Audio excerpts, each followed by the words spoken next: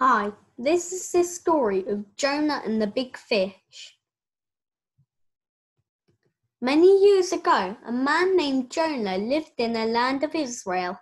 One day, God told him to go to Nineveh, the biggest, most powerful city in the world.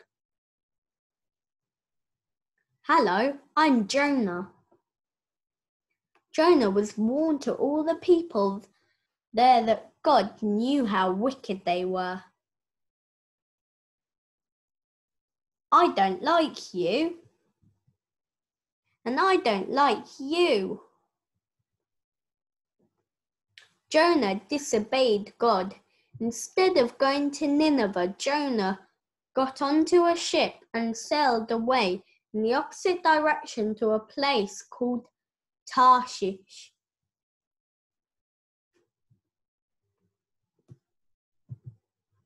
The Lord God sent out a great wind into the sea. There was a huge storm.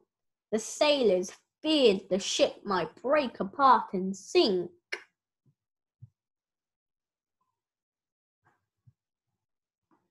The storm got worse and worse. Terrified, the sailors prayed to their gods and threw all the cargo overboard to lighten the ship but nothing helped. Jonah was the only person on board who wasn't praying. Instead, he was lying down in, inside the ship, sound asleep. What are you doing sleeping? Get up and pray to your God. Maybe God will think of us and will not be destroyed. The sailors soon decided that their trouble had something to do with Jonah. He told them that he was running away from Lord. They asked, What should we do to you so the sea will become calm? Throw me into the sea, and I am certain this is why the storm has come.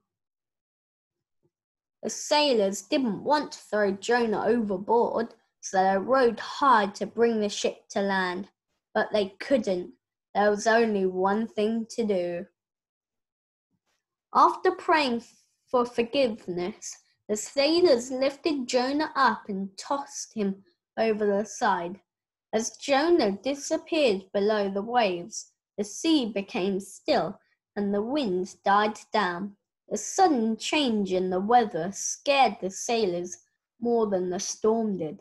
They must have known only God could do that. In fear and wonder, they worshipped the Lord.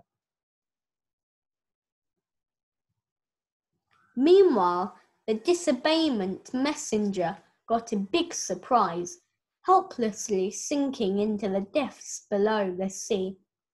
Jonah knew nothing could save him from drowning.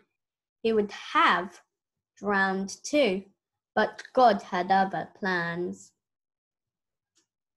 Meanwhile, the, dis- oh, the Lord had prepared a big fish to swallow up Jonah.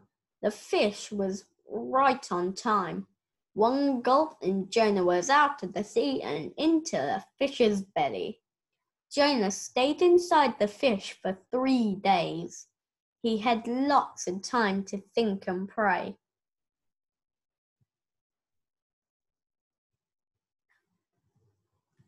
Three days later, Jonah finally promised to obey God.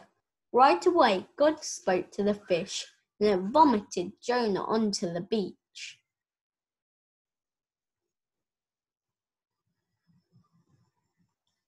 Once again, God told Jonah to go to Nineveh and preach God's word. This time, Jonah went. Jonah entered the city shouting, In 40 days, Nineveh will be overthrown.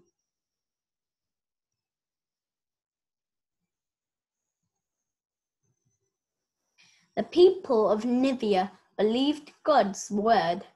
They went without food and wore sackcloth to show God that they were sorry for their sins. Even the king humbled himself before God. He got off his throne, put on a sackcloth, and sat in ashes. He commanded everyone to turn from their wicked ways and violence and pray that the Lord would forgive them.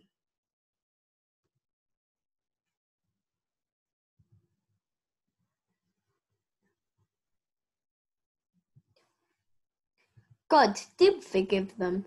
It must have been a wonderful day of joy in Nineveh when the real when the people realized that God had forgiven them.